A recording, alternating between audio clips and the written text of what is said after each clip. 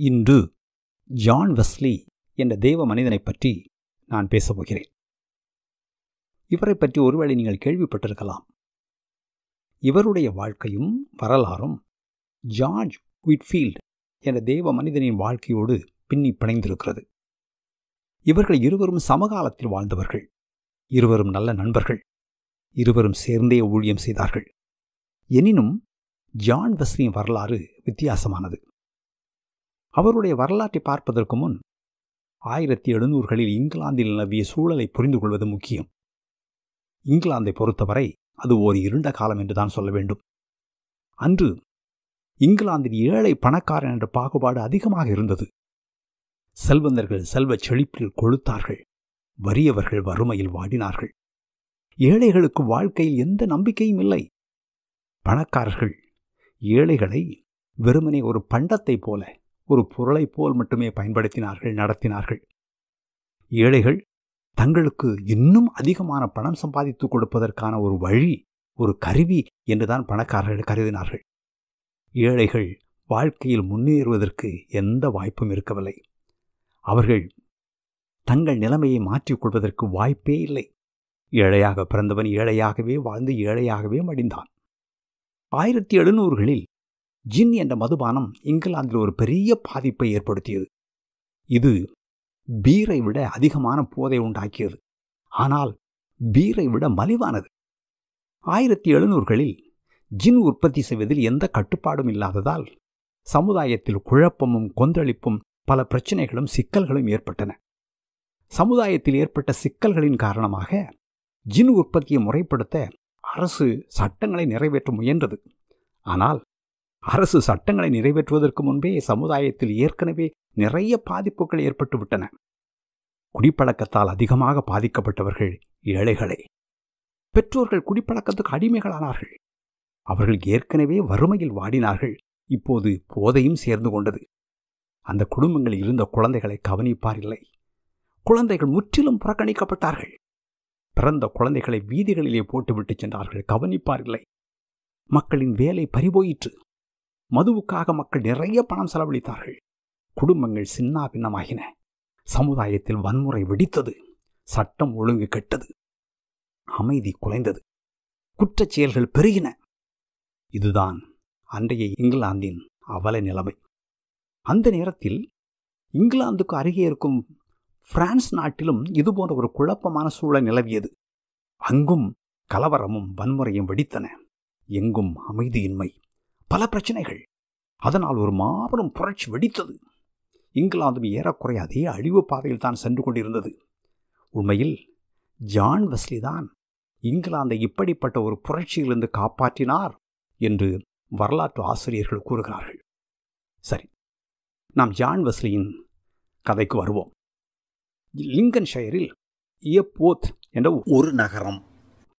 John Wesley இங்குதான் பிறந்தார். அவருடைய தந்தை சாமுவேல் வெஸ்லி அவருடைய தாய் சுசன்னா அவருடைய தந்தை ஒரு மத குரு மத போதகர். அவர் பல சபைகள் அடங்கிய ஒரு வட்டாரத்துக்கு போதகராக இருந்தார். அவருடைய கண்காணிப்பின் கீழ் பல போதகர்கள் இருந்தார்கள். என்னவோ தெரியவில்லை பல மத போதகர்கள் அவரை விரும்பவில்லை. இந்த நேரத்தில் அவருடைய வாழ்க்கையில் ஓர் அசம்பாவிதம் நடந்தது. இந்த அசம்பாவிதம் தற்செயலாக நடந்தது என்று எடுத்துக்கொள்ள முடியுமா என்று தெரியவில்லை. ஒரு நாள் இரவு வீட்டில் எல்லாரும் நிம்மதியாக உறங்கிக் கொண்டிருந்தார்கள். திடீரென்று வீடு தீப்பிடித்து எரிய ஆரம்பித்தது. எரிந்து கொண்டிருந்த வீட்டு கூரையின் ஒரு பகுதி பதினோரு வயதான அவர்களுடைய மகளின் படுக்கையில் விழ படுக்கையும் தீப்பற்றி கொண்டது. திடுக்கிட்டு விழித்தெழுந்த அவள் உறக்க கத்தினாள். மகளின் கதறல் கேட்டு அவளுடைய அப்பா எழுந்தார். நிலைமையை அறிந்த அவர் தம் மனைவி எழுப்பினார். அவர் ஓடிப்போய் குழந்தைகளை எழுப்பினார். அவருடைய மனைவி சில குழந்தைகளை எழுப்பிக் கொண்டிருந்த போது அவர் மாடியில் இருந்த சிறு பிள்ளைகளுக்கான அறைக்கு போய் பணிப்பெண்ணை கூப்பிட்டார். பணிப்பெண் கட்டிலில் படுத்திருந்த கைக்குழந்தை சார்லஸை தூக்கி கொண்டு அங்கிருந்த பிற குழந்தைகள் இழுத்து கொண்டு வீட்டை விட்டு வெளியே ஓடினார். எல்லாரும் வீட்டுக்கு வெளியே வந்தபின் சாமுவேல் தன் பிள்ளைகளை பார்த்தார். ஜான் மட்டும் அங்கு இல்லை. மீது எல்லாரும் அங்கு இருந்தார்கள். ஜான் எங்கே? என்று கேட்டார். எல்லார் முகத்திலும் அதிர்ச்சி. சாமுவேல் ஜானை தேடி வீட்டுக்குள் ஓடினார். ஐந்து வயது சிறுவன் ஜான் அங்கு நடப்பது எதுவும் தெரியாமல் வீட்டில் நிம்மதியாக தூங்கிக் கொண்டிருந்தான்.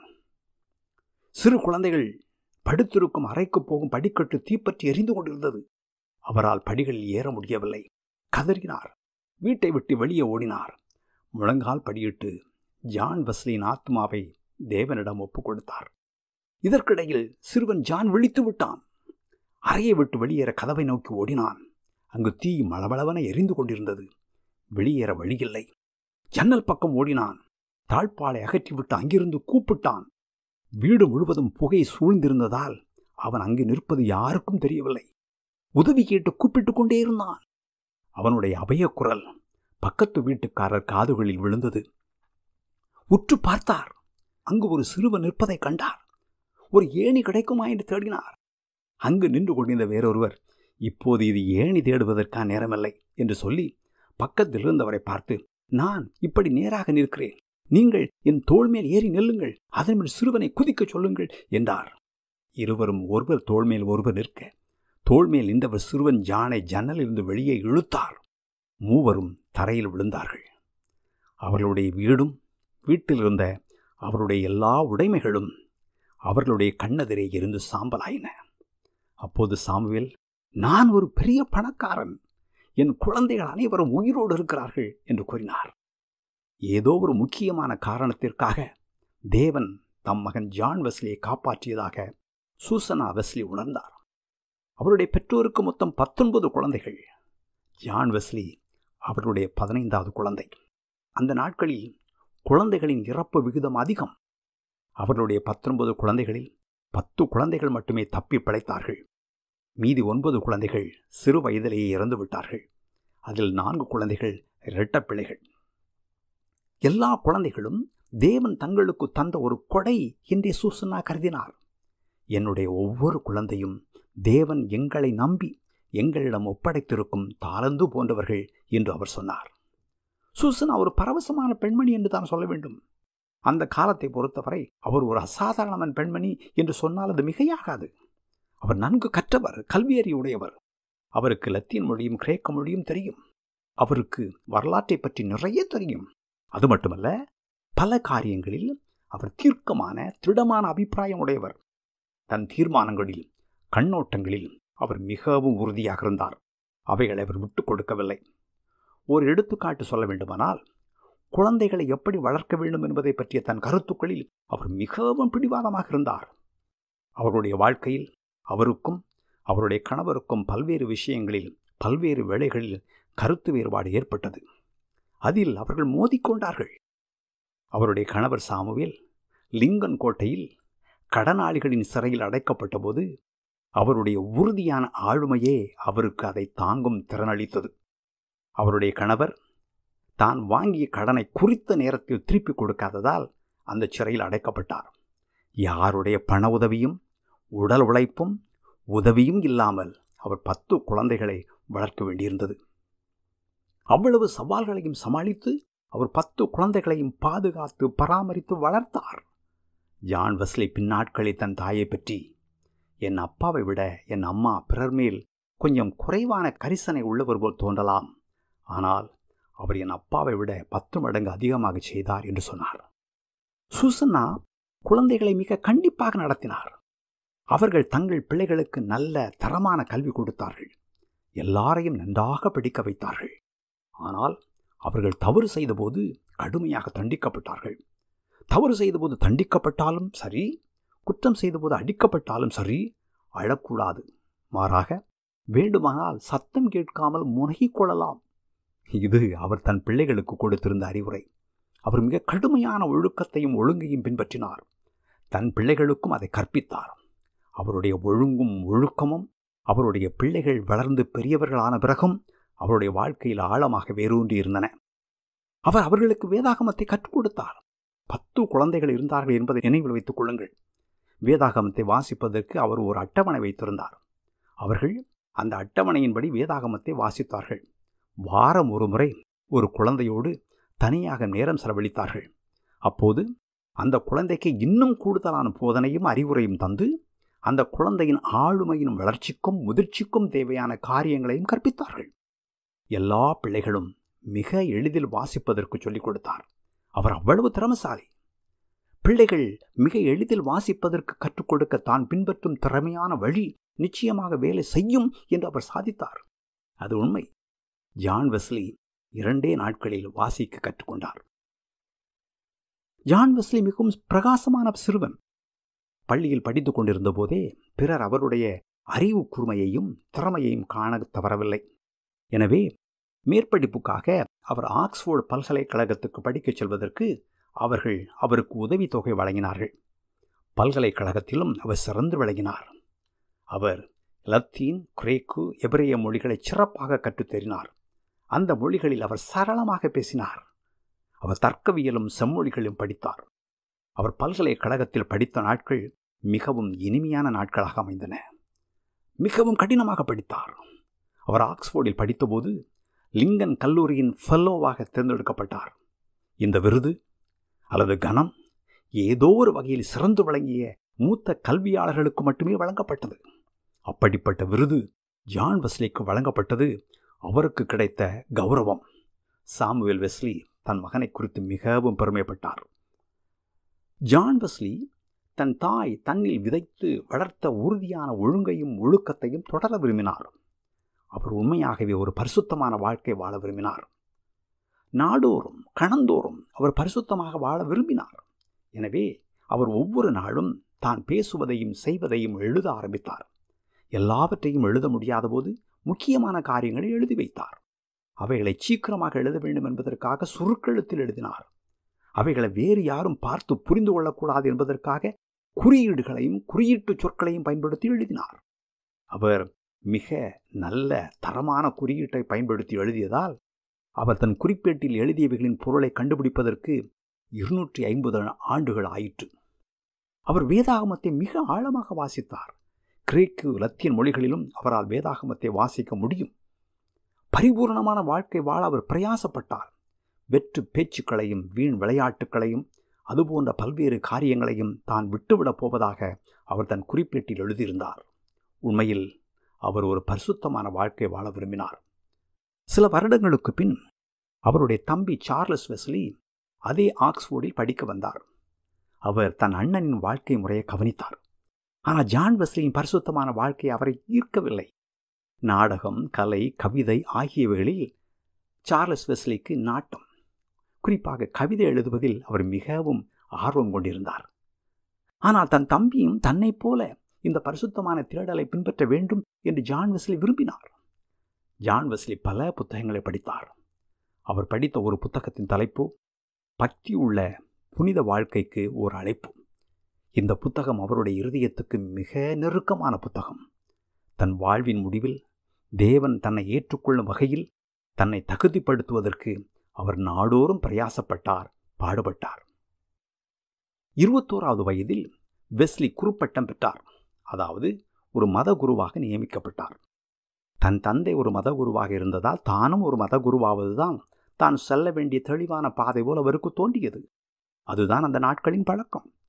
தகப்பனின் தொழிலையே பிள்ளைகள் செய்தார்கள். தகப்பனின் அடிச்சுவடுகளையே பிள்ளைகள் பின்பற்றினார்கள். அந்த நாட்களில் மத குருவாக மத போதகராக இருப்பது நல்ல வேலையாக கருதப்பட்டது. வேலை நிரந்தரம் வருமானம் நிரந்தரம் சமுதாயத்தில் நல்ல மதிப்பும் மரியாதையும் உண்டு. இது ஜான் வெஸ்லிக்கு தெரியும். ஆனால் அவர் மதகுரு என்பதை தொழிலாக கருதவில்லை. அது தேவனுக்கு செய்யும் பணிவிடையாக கருதினார். எனவே அவர் தன் சபைக்கு ஒரு சிறந்த முன்மாதிரியாக இருக்க விரும்பினார். ஒருமுறை ஒரு முதியவர் சொன்ன ஒரு சில வார்த்தைகளை அவர் தன் வாழ்நாள் முழுவதும் தன் இருதயத்தில் ஆழமாக வைத்துக் கொண்டார். அந்த முதியவர் ஜான் வெஸ்லியிடம் வேதாகமத்துக்கு ஒரு தனி மதத்தை பற்றி எதுவும் தெரியாது. நீ தேவனுக்கு தன்னந்தனியே ஊழியம் செய்ய முடியாது. எனவே நீ தோழர்களை கண்டுபிடிக்க வேண்டும் அல்லது தோழர்களை உருவாக்க வேண்டும் என்று அவர் கூறினார்.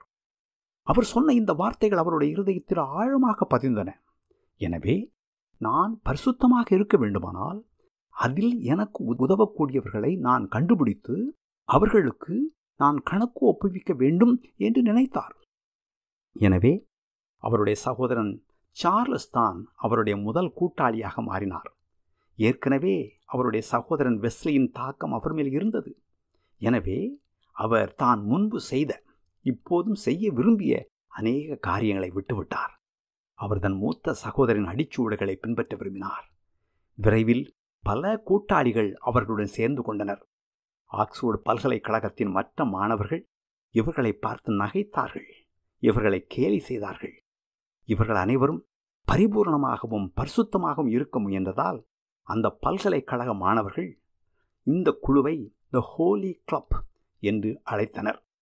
அந்த குழுவில் இருந்த அனைவரையும் பொருள் நிறைந்த தெய்வீக வாழ்க்கை வாழ்வதற்கு அவர் உற்சாகப்படுத்தினார். எல்லாரும் ஒன்றாக சேர்ந்து இவ்வாறு பிரயாசப்பட்டால் தங்கள் வாழ்வின் முடிவில் பரலோகத்திற்கு நுழையும் பாக்கியம் கிட்டிவிடும் என்று அவர் நினைத்தார். தலைமை தாங்கி வழிநடத்தும் குணம் இயல்பாகவே வெஸ்லியிடம் இருந்தது. அவர் படிப்பில் சிறந்து விளங்கினார். கற்கும் திறனும் கற்பிக்கும் திறனும் அவரிடம் இருந்தன. எனவே கல்வியை பொறுத்தவரையிலும் பலர் அவருடைய வழிநடத்துதலை பின்பற்றினார்கள். அவர் எல்லாவற்றையும் மிகவும் நேர்த்தியாகவும் ஒழுங்காகவும் செய்தார். எல்லாவற்றையும் சீரும் சிறப்புமாக செய்ய வேண்டும் என்ற நோக்கம் கொண்டவர். மிகவும் ஒழுக்கமானவர். இவை எல்லாவற்றையும் செய்வதற்கு ஆற்றலும் திறமையும் கொண்டவர். எனவே அவரை சுற்றி இருந்தவர்கள் எல்லாவற்றிற்கும் அவருடைய வழி நடத்துதலை எதிர்பார்த்தார்கள். இதற்கு முக்கியமான காரணம் என்னவென்றால் அவர் எல்லாவற்றிற்கும் ஒரு முன்மாதிரியாக இருந்தார். அவர் தம் வார்த்தையால் மட்டுமல்ல வாழ்க்கையால் வழிநடத்தினார் ஏழைகளுக்கு தாராளமாக கொடுக்க வேண்டும் என்ற எண்ணம் அவருக்குள் எழுந்தது. அதற்காக சேமிக்க வேண்டும் என்று அவர் நினைத்தார். அவர் பல வகைகளில் பணத்தை சேமிக்க ஆரம்பித்தார். எடுத்துக்காட்டாக கடும் குளிர்காலத்திலும் அவர் தன் அறையில் நெருப்பு மூட்ட மாட்டார். அதற்கு செலவழிக்கும் பணத்தை சேமித்தார். அந்த பணத்தை ஏழைகளுக்கு கொடுக்க விரும்பினார். வாரத்துக்கு இரண்டு முறை உபவாசம் இருந்தார். அதுபோல குதிரைகளில் பயணித்து பணத்தை வீணாக்குவதற்கு பதிலாக நடந்து செல்வது என்று முடிவு செய்தார். பணமும் மிச்சம் அது நல்ல உடற்பயிற்சியும் ஆகும் என்று அவர் நினைத்தார். இவைகளெல்லாம் மிக முக்கியமான முடிவுகள். ஏனென்றால் நடந்துதான் போக வேண்டுமென்றால் அவர் தன் பெற்றோர்களை பார்க்க போவதற்கு இருநூற்றி நாற்பது கிலோமீட்டர் தூரம் நடந்து போக வேண்டும். போய் வர நானூற்றி எண்பது கிலோமீட்டர். அவரும் அவருடைய சகோதரர் சார்லஸும் தங்கள் பெற்றோரை பார்க்க இப்படி நடந்துதான் போய் வந்தார்கள். இதை அறிந்த அவருடைய பெற்றோர் அதிர்ச்சி அடைந்தார்கள். நீங்கள் இப்படி நடந்து வந்து எங்களை பார்க்க வேண்டாம். நீங்கள் இருவரும் ஒரு வாரம் நடந்து வந்து எங்களை பார்க்க வர வேண்டாம். இது எங்களுக்கு கவலையாகவும் பாரவமாகவும் இருக்கிறது. இது எங்களை அழுத்துகிறது. இந்த நடைப்பயணத்தில் உங்களுக்கு என்ன நேரிடுமோ என்று நாங்கள் பயப்படுகிறோம். வழிப்பயணத்தில் கொள்ளையர்கள் உங்கள் தாக்கலாம். எனவே இவ்வளவு இன்னல்களுக்கு இடையில் நீங்கள் எங்களை பார்க்க வருவது அவ்வளவு உகந்ததல்ல. எனவே வர வேண்டாம் என்று சொன்னார்கள். ஆனால் அவர்கள் தங்கள் பெற்றோரை பார்க்க தொடர்ந்து வந்து போய் கொண்டிருந்தார்கள். வழிநடுகிலும் அவர்கள் வாசித்து கொண்டும் பல காரியங்களை குறித்து உரையாடி கொண்டு வந்தார்கள். நேரத்தை வீணாக்காமல் அதை நல்ல முறையில் பயன்படுத்த வேண்டும் என்பதை குறித்து வெஸ்லி தெளிவாகவும் உறுதியாகவும் இருந்தார். அவர்களுடைய தாய் சுசன்னா கூட அவர்களிடம் நான் உங்களை குறித்து வெட்கப்படுகிறேன். உங்களுடைய இந்த உபவாசம் இந்த நடைப்பயணம் ஆகியவைகள் பொருளற்றவை என்பதை நீங்கள் சீக்கிரம் புரிந்து கொள்வீர்கள் என்று நான் நம்புகிறேன் என்று சொன்னார். பொதுவாக பிற மக்களும் அவர்களை பற்றி அப்படித்தான் நினைத்தார்கள். அந்த நேரத்தில் அங்கு ஒரு வாலிபன் இருந்தான். அவன் அந்த பல்கலைக்கழகத்தில் ஒரு மாணவன். ஆயினும் அவன் பல்கலைக்கழகத்தில் படித்து கொண்டிருந்த மூத்த மாணவர்களுக்கு ஒரு வேலைக்காரனைப் போல பணிவிடை செய்தான். அவனுடைய பெயர் ஜார்ஜ் விட்ஃபீல்ட். சார்லஸ் இந்த வாலிபனை கொஞ்சம் உன்னிப்பாக கவனித்து வந்தார். ஜார்ஜ் விட்ஃபீல்டுக்கும் நற்செய்தியை கேட்பதில் ஆர்வம் இருந்தது. ஒரு நாள் சார்லஸ் அந்த வாலிபனை தங்கள் ஹோலி கிளப்புக்கு வருமாறு அழைத்தார். விட்ஃபீல்டு ஹோலி கிளப்பில் சேர்ந்தார். அங்கு அவர் ஜான் வெஸ்லியை பார்த்து பிரமித்தார்.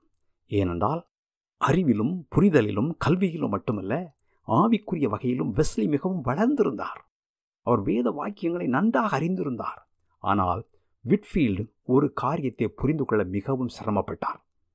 அந்த காலத்தில் பெரும்பாலான கிறிஸ்தவர்கள் நினைத்தது போல குழந்தையா இருக்கும்போது ஒருவனை ஆலயத்துக்கு கொண்டு போய் கிறிஸ்தவ பெயர் சூட்டும்போது அவன் மறுபடி பிறக்கிறான் என்றும் பரிபூர்ணமான கிறிஸ்தவனா வாழ்வதற்கு அவனுக்கு ஒரு வாழ்க்கை கொடுக்கப்பட்டிருக்கிறது என்றும் அவனுடைய வாழ்க்கையின் முடிவில் அந்த பரிபூரணத்தை அவன் எட்டியிருந்தால் தேவன் அவனை அங்கீகரித்து தம்மோடு பரலோகத்தில் வாழ அவன் தகுதி உள்ளவன் என்று கருதி அவனை பரலோகத்திற்குள் ஏற்றுக்கொள்வார் என்றும் ஜான் வெஸ்லி நம்பினார் ஆனால் இந்த கருத்தை விட்ஃபீல் ஏற்றுக்கொள்ளவில்லை. இப்படிப்பட்ட எண்ணம் வேதாகமத்தில் எங்கும் இருப்பதாக அவர் நினைக்கவில்லை. அந்த எண்ணம் வேதத்துக்கு பொருந்தவில்லை எனினும் தம் வழிகாட்டிகளாக கருதிய ஜான் வெஸ்லியையும் சார்லஸ் வெஸ்லியையும் குறித்த ஒரு பிரமிப்பு ஜார்ஜ் விட்ஃபீல்டம் இருந்ததால் இந்த காரியத்தை பற்றி அவர் அவர்களிடம் பேச துணியவில்லை. மாறாக அவர்களுடைய அடிச்சுவடுகளை பின்பற்றி முழுமையான பரிசுத்தமான வாழ்க்கை வாழ முடிவு செய்தார். ஜான் வெஸ்லியின் தந்தை சாமுவேல் வெஸ்லி மரண தருவாயில் இருந்தார். அந்த நேரத்தில் அவர் அருகே இருக்க வேண்டும் என்பதற்காக வெஸ்லி சகோதரர்கள் இருவரும் வழக்கம் போல் ஊருக்கு நடந்தே சென்றார்கள். வீட்டில் கொஞ்ச நாட்கள் தங்க வேண்டியதாயிற்று. அவர்கள் இருவரும் பல்கலைக்கழகத்திலிருந்து ஊருக்கு அவருடைய தந்தையை பார்க்கச் சென்றிருந்த நேரத்தில் ஜார்ஜ் விட்ஃபீல்டின் போராட்டம் முடிவுக்கு வந்தது. அப்போது அவர் உண்மையாகவே தேவனை அனுபவித்தார். அவர் தனியாக இருந்த அந்த நேரத்தில் அவர் கிருபை என்ற வார்த்தையை புரிந்து கொண்டார். அவர் கிருபையை அனுபவித்தார். விட்ஃபீல்டு முற்றிலும் மறுசாயலாகிவிட்டார். அவர் ஒரு விதமான மகிழ்ச்சியை அனுபவித்தார். அந்த மகிழ்ச்சி நிரம்பி வழிந்தது. அப்போது வேதாகமம் அவரை பொறுத்தவரை உயிருள்ளதாக மாறிற்று. மறுபடி பிறப்பதென்றால் என்னவென்று அவர் புரிந்து கொண்டார். வெஸ்லிக்கு அவர் ஒரு நீண்ட கடிதம் எழுதினார். ஏனென்றால் வெஸ்லி சகோதரர்கள் இருவருக்கும் இந்த அனுபவம் இல்லை என்று அவருக்கு தெரியும். அவர்கள் இருவரும் இன்னும் மறுபடி பிறக்கவில்லை என்று அவர் அறிந்திருந்தார். அவர்கள் நியாயப்பிரமாணத்தை பிடித்துக்கொண்டு கடுமையாக போராடி கொண்டிருந்தார்கள். அவர்கள் கிருவையை புரிந்து கொள்ளவில்லை. விட்ஃபீல்ட் ஜான் வெஸ்லிக்கு ஒரு நீண்ட கடிதம் எழுதினார். அந்த கடிதத்தில் தன் அனுபவத்தை விவரித்து எழுதினார். கிருபை என்றால் என்னவென்று வேதாகமத்திலிருந்து விளக்கிச் சொன்னார். ஆனால் விட்ஃபீல்ட் எழுதியவைகளை வெஸ்லி ஒப்புக்கொள்ளவில்லை. இந்த காலகட்டத்தில் தான் அமெரிக்காவில் குடியேற்றங்கள் உருவாக்கப்பட்டன. ஐரோப்பாவிலிருந்தும் வேறு பல நாடுகளிலிருந்தும் மக்கள் அமெரிக்காவில் அப்போதுதான் குடியேறிக் கொண்டிருந்தார்கள். அமெரிக்காவின் பூர்வீக குடிகளான செவ்விந்தியர்களுக்கும் அங்கு புதிதாக குடியேறியவர்களுக்கும் நற்செய்தி அறிவிக்க வெஸ்லியை ஒரு மிஷனரியாக வருமாறு அழைத்தார்கள். அந்த நேரத்தில் அங்கு ஊழியக்காரர் என்று யாரும் இல்லை ஏதோ ஒரு வகையில் ஊழியம் என்று ஒன்றை நிறுவ வேண்டும் என்று அங்கிருந்தவர்கள் நினைத்தார்கள். இது ஒரு நல்ல வாய்ப்பு என்று வெஸ்லியும் கருதினார். சார்லஸையும் ஏதோ ஒரு அமைச்சகத்தின் செயலாளர் போன்ற ஒரு பொறுப்பை கொடுத்து வரவழைத்தார்கள். ஆனால் வெஸ்லி தன் நோக்கம் என்ன என்பதில் திட்டவட்டமாக இருந்தார் இது கொஞ்சம் கேள்விக்குரியதுதான். ஆயினும் அமெரிக்காவுக்கு ஒரு மிஷனரியாக சென்று அங்கிருக்கும் பூர்வீக குடிகளுக்கு நற்செய்தி அறிவிப்பதன் மூலம் தன் ஆத்மாவையும் ரட்சிக்க முடியும் என்று அவர் நினைத்தார். இது பக்தியுள்ள பரிசுத்தமான வாழ்க்கையில் முன்னேற உதவியாக இருக்கும் என்றும் அவர் நினைத்தார். பிறருக்கு நற்செய்தி அறிவிக்கும் போது அதை தானும் புரிந்து கொள்ள முடியும் என்று அவர் நம்பினார். கப்பல் பயணத்தில் அவர் பல புயல்களை எதிர்கொள்ள வேண்டியிருந்தது. அந்த கப்பலில் ஜெர்மானியர்கள் நிறைய பேர் இருந்தார்கள். அவர்கள் தங்கள் நாட்டில் நடந்து கொண்டிருந்த சித்திரவதையிலிருந்து தப்பித்து போய்க் கொண்டிருந்தார்கள். இந்த ஜெர்மானியர்கள் மொராவியன் என்று அழைக்கப்பட்டார்கள். அவர்கள் கிறிஸ்தவர்கள் விசுவாசிகள். ஜெர்மனியில் இவர்கள் கத்தோலிக்க சபையால் மிகவும் துன்புறுத்தப்பட்டார்கள் சித்திரவதை செய்யப்பட்டார்கள். இவர்கள் ஒரு புதிய வாழ்க்கையை தேடி அமெரிக்காவுக்கு சென்று கொண்டிருந்தார்கள். இந்த மக்களோடு சரளமாக உரையாட வேண்டும் என்பதற்காக அவர் தன் கப்பல் பயணத்தின் போது ஜெர்மன் மொழி கற்க ஆரம்பித்தார். இவர் அவர்களோடு அமர்ந்து அவர்களுடைய உரையாடலை உற்று கவனித்தார். அவருடைய கூட்டங்களில் இவர் கலந்து கொண்டார். இந்த மக்கள் மிகவும் வித்தியாசமான மக்கள் என்பதை அவர் கவனித்தார். அவர்கள் மிகவும் எளிமையான மக்கள் ஆனால் மிகவும் வித்தியாசமான மக்கள். தன்னிடம் இல்லாத ஒரு மகிழ்ச்சி அவர்களிடம் இருப்பதை அவர் காண தவறவில்லை. ஓர் இரவு கடும் புயல் ஏற்பட்டது. அப்போது அவர் இந்த ஜெர்மானியர்களோடும் வேறு பல ஆங்கிலேய கப்பல் பணியாளர்களோடும் இருந்தார். அவர்கள் எல்லோரும் தேவனை துதித்து பாடிக்கொண்டிருந்தார்கள் அப்போது ஒரு பேரலை கப்பலின் பக்கவாட்டில் மோதி கப்பலை தூக்கி எறிந்து பின்னர் கப்பலின் முன்னணியத்தில் மோதியது. கப்பலின் முக்கியமான பாய் கழிந்தது. அனுபவமிக்க மாலுமிகள் கூட பயத்தில் அலறினார்கள். அன்றிரவோ தங்கள் கதை முடியப் போகிறது என்றே எல்லாரும் நினைத்தார்கள். வெஸ்லியும் பயந்து நடுங்கினார். பயத்தில் கத்தினார் கதனினார் ஆனால் இந்த ஜெர்மானியர்களோ எந்த சலனமும் இன்றி தங்கள் பாடலில் முழுவதும் பாடி முடித்தார்கள் என்று அவர்களைப் பற்றி பின்னர் கூறினார். அவர்கள் அலறவும் இல்லை கதறவும் இல்லை பேரலையில் சிக்கி கொந்தளிக்கும் கடலுக்குள் சென்று விடாதபடி எல்லோரும் எதையோ பிடித்து கொண்டிருந்த போதும் கடும் புயலின் மத்தியிலும் இந்த ஜெர்மானியர்கள் ஆண்கள் பெண்கள் குழந்தைகள் என அனைவரும் மிகவும் சாந்தமாகவும் சமாதானமாகவும் இருந்தார்கள். இந்த அனுபவம் வெஸ்லியை உலுக்கியது. ஏனென்றால் அந்த இரவு மரண பயம் அவரை கவ்விக்கொண்டது. மரண பயத்தில் அவர் அலறினார். அவர் அமெரிக்காவில் ஜார்ஜியா மாநிலத்தின் சவனா என்ற துறைமுகத்தில் வந்திறங்கினார். அங்கு அவர் ஒரு ஜெர்மன் பாஸ்டரை சந்தித்தார். அவர் வெஸ்லியின் தேவையையும் அவரையும் கொஞ்சம் புரிந்து கொண்டார். அந்த பாஸ்டர் வெஸ்லியிடம் இயேசு கிறிஸ்துவை உங்களுக்கு தெரியுமா? என்று கேட்டார். வெஸ்லி உடனே அவர் உலகத்தின் ரட்சகர் என்று எனக்கு தெரியும் என்றார் அந்த பாஸ்டர் உண்மை. ஆனால் அவர் உங்களை ரட்சித்திருக்கிறார் என்று உங்களுக்கு தெரியுமா? என்று கேட்டார் வெஸ்லி அவர் என்னை ரட்சித்திருக்கிறார் என்று நான் நம்புகிறேன் என்றார் அவர் மீண்டும் அழுத்தமாக இது உங்களுக்கு நிச்சயமாக தெரியுமா? என்று கேட்டார். வெஸ்லி தெரியும் என்று நினைக்கிறேன் என்றார். ஆனால் அவர் தன் நாளேட்டில் தெரியும் என்று நான் நினைக்கிறேன் என்று நான் அன்று சொன்னது வீண் வார்த்தைகள் என்று எழுதினார். வெஸ்லி அமெரிக்காவில் தங்கியிருந்த நாட்கள் பயங்கரமான தோல்வி என்று தான் சொல்ல வேண்டும். ஏனென்றால் தன் ஆவிக்குரிய வாழ்வில் தான் முன்னேற வேண்டும் என்பதற்காகவும் தன் கடுமையான பரிசுத்த வாழ்க்கை முறையை பின்பற்றுவதற்காகவும் அமெரிக்காவின் பூர்வீக குடிகளான செவ்விந்தியர்களை மனமாற்றுவதற்காகவும் நற்செய்தி அறிவிக்கும் போது தன் புரிதல் இன்னும் அதிகமாகும் என்பதற்காகவும் அவர் அங்கு சென்றார். ஆனால் அவருடைய எண்ணம் எதுவும் ஈடேறவில்லை. அவர் நினைத்தபடி எதுவும் நடக்கவில்லை. முதலாவது அங்கிருந்த செவ்விந்தியர்கள் அவரை ஏற்றுக்கொள்ளவில்லை. அவரை புறக்கணித்தார்கள். அவர்களால் அவரோடு உறவு கொள்ளவே முடியவில்லை. அவர்களில் ஒருவர் கூட அவர் சொன்ன செய்தியில் எந்த அக்கறையும் காட்டவில்லை. இங்கிலாந்திலிருந்து வந்திருக்கும் இந்த நூதனமான மனிதன் தங்களுக்கு ஒரு இடைஞ்சலாக இருக்கிறான் என்றுதான் அங்கு குடியேறியவர்களும் நினைத்தார்கள். அவர்கள் அவரை விரும்பவில்லை. அவர் மிகவும் கண்டிப்பானவர் கடுமையானவர் என்று அவர்கள் நினைத்தார்கள். அவர்கள் யாரும் அவரை விரும்பவே இல்லை. இந்த சூழ்நிலையில் அங்கு இருப்பது வெஸ்லிக்கு மிகவும் கடினமாக இருந்தது. பிரசங்கிப்பதும் அவருக்கு மிகவும் கடினமாக இருந்தது. அவரால் மக்களுக்கு ஒன்றும் கற்பிக்க முடியவில்லை. ஒருவர் கூட அவரை விரும்பவில்லை. இதற்கிடையில் காதல் விவகாரமும் பிரச்சனையாக மாறியது. திருமணம் செய்ய வேண்டும் என்று வெஸ்லி நினைக்கவில்லை. அமெரிக்காவின் கிராமப்புறங்களுக்கு சென்று நற்செய்தி அறிவிக்க வேண்டியிருந்தால் தன்னை போன்ற ஒரு மிஷினரி திருமணம் செய்வது சரியாக இருக்காது என்று அவருக்கு தெரியும். ஆனால் அவர் சோஃபி என்ற ஒரு பெண்ணை விரும்பினார். இது அந்த பெண்ணுக்கு தெரியாது. இதை குறித்து அவருடைய நண்பர்கள் அவரை எச்சரித்தார்கள். இந்த விஷயத்தில் அவர் கவனமாக இருக்க வேண்டும் என்றும் அவர்கள் சொன்னார்கள். எனினும் அவர் இதில் கொஞ்சம் உணர்ச்சி பூர்வமாகத்தான் செயல்பட்டார். ஒரு நாள் அவர் அந்த பெண்ணிடம் தன் விருப்பத்தை தெரிவித்தார். அந்த பெண் உடனே அதை மறுத்துவிட்டாள். மோசடி போன்ற ஏதோ ஒரு குற்றத்திற்காக கைதாகி சிறையில் இருந்த ஒருவனோடு அவளுக்கு ஏற்கனவே நிச்சயதார்த்தம் ஆகியிருந்தது நிச்சயதார்த்தமான பிறகு தான் திருமணம் செய்யப்போகிறவன் சிறைக்கு சென்றதால் அவள் மிகவும் வேதனைப்பட்டாள். இந்த அனுபவம் அவளுக்கு மிகுந்த கசப்பை ஏற்படுத்தியிருந்தது. எனவே இனிமேல் திருமணம் செய்யக்கூடாது என்பதில் அவள் உறுதியாக இருந்தாள். ஆனால் இவள்தான் தான் திருமணம் செய்ய வேண்டிய பெண் என்பதில் வெஸ்லி உறுதியாக இருந்தார். வெஸ்லி அந்த பெண்ணை அவ்வளவு அதிகமாக விரும்பினார். இது குறித்து ஜெபிக்குமாறு அவருடைய நண்பர்கள் அவருக்கு அறிவுரை சொன்னார்கள். ஒரு கட்டத்தில் ஆதி அப்போசலர்கள் செய்தது போல் செய்ய முடிவு செய்தார்கள். அதாவது இந்த காரியத்தை தீர்மானிப்பதற்கு அவர்கள் சீட்டு போடுவது என்று தீர்மானித்தார்கள். மூன்று துண்டு தாள்களை எடுத்து ஒரு தாளில் திருமணம் செய் என்றும் இரண்டாவது தாளில் இதை பற்றி இனி நினைக்கவே வேண்டாம் என்றும் மூன்றாவது தாளில் இதை பற்றி இப்போது நினைக்க வேண்டாம் என்றும் எழுதினார்கள்.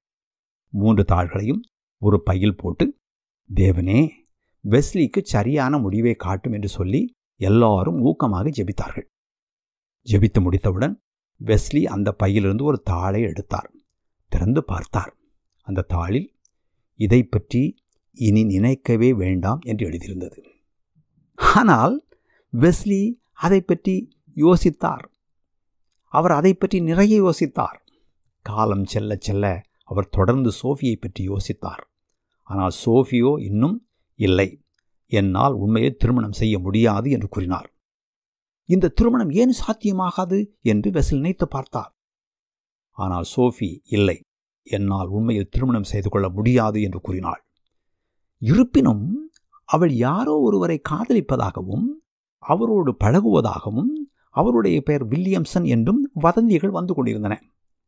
வெஸ்லி அவளுடைய ஊருக்கு திரும்பி வந்தவன் அவளை சந்தித்து நீ திருமணம் செய்ய போவதில்லை என்று சொல்கிறாய் ஆனால் நீ ஒருவருடன் நெருக்கமாக பழகுவதாக நான் கேள்விப்படுகிறேன். இது உண்மையா? என்று கேட்டார். அது பொய் என்று அவள் சொன்னாள். ஆனால் அடுத்த ஒரு வாரத்திற்குள் அதே வில்லியம்சனுடன் அவளுக்கு நிச்சயதார்த்தம் நடந்ததை கேள்விப்பட்டு அவர் வருத்தப்பட்டார். எனினும் பொருத்தமற்ற ஒரு திருமணத்திலிருந்து தேவன் தன்னை காப்பாற்றியதற்காக சந்தோஷப்பட்டார். அவள் திரும்ப திரும்ப தன்னிடம் பொய் சொல்லுகிறாள் என்பதையும் அவள் தன்னை ஏமாற்றுகிறாள் என்பதையும் அவரால் அப்போது புரிந்து கொள்ள முடியவில்லை. அவர் தன்மேல் மிகவும் பரிதாபப்பட்டார். தனிமையில் இருப்பதாக உணர்ந்தார். கொஞ்ச நாட்கள் கழித்து சோஃபிக்கும் வில்லியம்சனுக்கும் திருமணம் நடந்தது. பல்வேறு காரியங்கள் இதற்கிடையில் நடைபெற்றன. ஒருமுறை சோஃபி திருவிருந்தில் பங்கு பெறுவதற்கு வெஸ்லி அனுமதிக்கவில்லை. ஏனென்றால் அவள் நேர்மையற்றவள். திருவிருந்தில் பங்கு பெற தகுதியற்றவள் என்று அவர் நினைத்தார். இதை அறிந்த வில்லியம்சன் ஆத்திரமடைந்தார். சோஃபியிடம் இவ்வாறு சொல்ல இவருக்கு என்ன உரிமை உண்டு? இவர் யார் இதை சொல்ல? திருவிருந்தில் பங்கு பெறுவதா வேண்டாமா என்பதை அவள்தான் முடிவு செய்ய வேண்டும். இவர் யார் அதை முடிவு செய்ய? என்று வில்லியம்சன் வெகுண்டார். ஆயிரம் பவுண்ட்ஸ் அபராதம் செலுத்த வேண்டும் என்பதோடு அவரை கைது செய்யவும் வில்லியம்சன் கைது வாரண்டு பிறப்பித்தார். வெஸ்லியால் இவ்வளவு பெரிய தொகையை அபராதமாக செலுத்த முடியாது. இந்த காரியத்தில் குடியேறிய மக்களுக்கிடையே பிரிவினை உண்டாயிற்று. அவர்களில் பலர் வில்லியம்சனை ஆதரித்தனர். ஏனெனில் அவர்களுக்கு வெஸ்லியை பிடிக்கவில்லை. வேறு சிலர் வெஸ்லி தான் இங்கு ஊழியக்காரர் என்று சொல்லி அவருக்கு ஆதரவு தெரிவித்தனர். வெஸ்லி தன் முடிவில் உறுதியாக இருந்தார். அவர் இணங்கவும் இல்லை அபராத தொகையை கட்டவும் இல்லை அபராதம் கட்ட மறுத்துவிட்டார். ஆனால் தான் அமெரிக்காவில் செலவழித்த காலம் வீணாய் போயிற்று பாழாய் போயிற்று என்று அவர் தன் உள்ளத்தின் ஆழத்தில் அறிந்திருந்தார். எதிர்காலத்தில் தான் செய்ய நினைத்திருந்த வேலைகளும் கூட இப்போது சிக்கலாகிவிட்டன. அமெரிக்காவை விட்டு வெளியேறுவதை விட வேறு வழி இல்லை என்று அவருக்கு தெரிந்தது. அவர் வெளியேறினார். ஆம் ஓர் இரவில் தப்பித்துச் சென்றார். அவரோடு வேறு இரண்டு பேர்களும் தப்பித்துச் சென்றார்கள். ஆற்றை கடந்தார்கள். சதுப்பு நிலங்களின் வழியாகவும் காடுகளின் வழியாகவும் நடந்து ஒரு நகரத்தை அடைந்தார்கள். அங்கிருந்த துறைமுகத்துக்கு சென்று அங்கிருந்து இங்கிலாந்துக்கு செல்லும் கப்பலில் ஏறினார்கள். கப்பல் பயணத்தின் போது அவர் நிறைய காரியங்களை குறித்து சிந்தித்தார். நிறைய நேரம் இருந்தது. தன் இருதயம் எப்படிப்பட்டது என்பதை அவர் ஓரளவுக்கு பார்க்கத் தொடங்கினார். தன் விசுவாசம் எப்படிப்பட்டது என்பதையும் அவர் பார்த்தார். சொல்லும் அளவுக்கு தன்னிடம் விசுவாசம் பெரிதாக ஒன்றும் இல்லை என்பதை அவர் பார்த்தார். மரணத்தைக் கண்டு பயந்தார். குடியேறியவர்கள் அவரை வெறுத்தார்கள். பூர்வீக குடிகள் அவரை உதாசீனம் செய்தார்கள். காதல் விவகாரத்தில் சிக்கி அவதிப்பட்டார். கைது செய்யப்பட்டு அபராதம் செலுத்த வேண்டியிருந்தது. இடத்தை விட்டு இரவில் தப்பியோட வேண்டியதாயிற்று. நாசம் பேரழிவு. பின்னாட்களில் அவர் தன் நாட்குறிப்பில் என்னிடம் ஓர் அழகான கோடைகால மதம்தான் இருக்கிறது. அருகில் ஆபத்து ஒன்றும் இல்லை என்றால் நான் நன்றாக பேசுவேன். நான் என்னை நம்புவேன். ஆனால் மரணம் என்னருகே வரும்போது என் ஆவி கலங்கும்போது சாவு எனக்கு ஆதாயம் என்று என்னால் சொல்ல முடியாது. என்று எழுதி வைத்தார். ஆனால் அவருடைய கதை இத்தோடு முடியவில்லை. ஒரு மே இருபத்தி நான்கு அப்போது அவருக்கு வயது முப்பத்தி ஐந்து ஒரு நாள் அவர் தன் கிரேக்க மொழி புதிய ஏற்பாட்டை திறந்தார். நீ தேவனுடைய ராஜ்யத்துக்கு தூரமானவன் அல்ல என்ற வசனம் அவர் கண்களில் பட்டது. அன்று மாலை சில ஜெர்மானியர்கள் அவரை ஒரு கூட்டத்துக்கு அழைத்திருந்தார்கள். உண்மையில் அவர் அந்த கூட்டத்துக்கு போக விரும்பவில்லை. அவர் வீட்டிலே இருக்கவே விரும்பினார். ஆயினும் மரியாதை நிமித்தம் கூட்டத்துக்கு போனார். அந்த கூட்டத்தில் ரோமருக்கு எழுதிய நிருபத்துக்கு மாட்டின் லூத்தர் எழுதிய பொழிப்புரையிலிருந்து ஒருவர் ஒரு பகுதியை வாசிக்கவிருந்தார். நேரம் மாலை எட்டு நாற்பத்தி ஐந்து தேவன் மனிதனுடைய இருதயத்தில் விசுவாசத்தால் ஏற்படுத்தும் மாற்றத்தை பற்றி மாட்டின் லூத்தர் சொன்ன வரிகளை ஒருவர் வாசித்தபோது வெஸ்லி எழுந்து உட்கார்ந்தார்.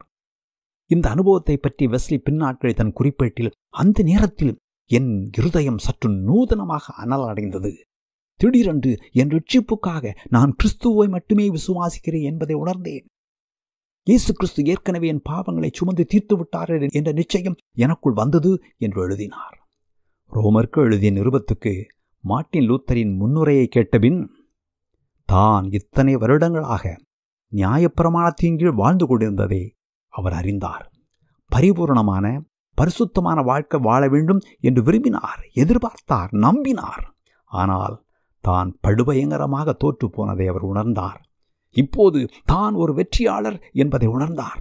தான் செய்த அல்லது சாதித்த ஏதோ ஒன்றினால் அல்ல விசுவாசத்தால் தான் நீதிமானாக்கப்பட்டதை வெஸ்லி அப்போது அறிந்தார். அன்றிரவு தேவனோடு அவருக்கு சமாதானம் உண்டானது. ஆனால் பிசாசு மிக வேகமாக செயல்பட ஆரம்பித்தான். ஏனென்றால் அடுத்த நாள் தன்னிடம் பரவசமான உணர்ச்சிகளை எதுவும் இல்லாததால் தான் ரட்சிக்கப்பட்டது உண்மைதானா என்ற சந்தேகம் அவருக்குள் எழுந்தது. ஜார்ஜ் விட்ஃபீல்ட் ரட்சிக்கப்பட்ட போது தன் அறையிலிருந்து வெளியே ஓடினார். படிகளில் இறங்கிச் செல்லும்போது தான் சந்தித்த முதல் நபரை கட்டிப்பிடித்து நடனமாடினார். ஜான் வெஸ்லி அப்படி இல்லை. அவரை பொறுத்தவரை அவர் உணர்ச்சிகரமாக எதையும் செய்யவில்லை. தான் ரட்சிக்கப்பட்டிருக்கிறேன் என்ற உறுதியான நிச்சயம் அவருக்குள் இருந்தது. ஆயினும் பிசாஸ் அவரிடம் இல்லை இல்லை நீ ரட்சிக்கப்படவில்லை என்று சாதித்தான். ஜார்ஜ் விட்ஃபீல்டு தன் நீண்ட கடிதத்தில் விவரித்திருந்ததை போன்ற மகிழ்ச்சியோ அல்லது கப்பலில் தான் சந்தித்த ஜெர்மானியர்களிடம் கண்ட அந்த மகிழ்ச்சியோ அவரிடம் இருக்கவில்லை. ஆனால் இந்த சந்தேகம் பிசாசு கொண்டு வருகிற சோதனை என்பதை வெஸ்லி புரிந்து கொண்டார்.